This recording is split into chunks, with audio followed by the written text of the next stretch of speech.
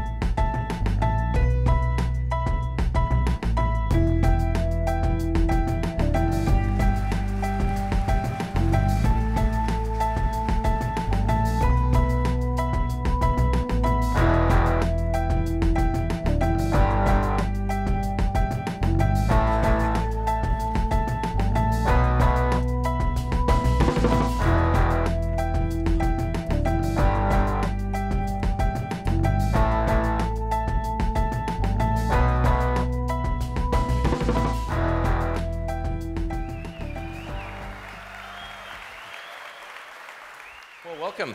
Uh, as you can see, the, the Model S uh, can easily handle seven people plus uh, baggage. Um, oh, hey. hey, Ben, uh, you've been, been working late? Or must have been there all night. Um, I knew that was going to happen, actually. um, so as it turns out, the, the Model S can actually handle eight people plus luggage. So, so, our goal here with the Model S was to create not, not the, the best electric car, but actually the best uh, car of any kind. Um, and if you think about well, what are the ways in which uh, you can evaluate a car, like what, what makes a car good or great, um, well, I think we, we can start off with um, safety first.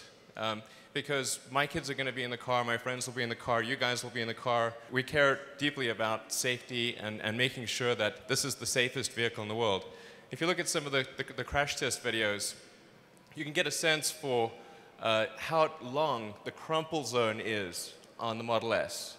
And this is a really important factor in safety.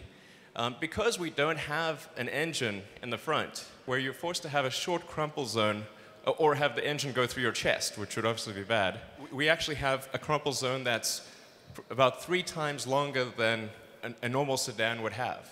So it has a, a huge uh, length over which it can absorb the energy. And so if you're in a, a potentially disastrous situation like uh, you know, hitting a concrete wall or having a head-on collision, this is going to be safer and, and leave you in a better position than any other car on the road. And then in terms of side impact, uh, because we've got the battery pack and the floor pan, you've got this really strong, stiff um, rectangular member in, in, at the base of the car. It's, it really is resistant uh, to side impacts.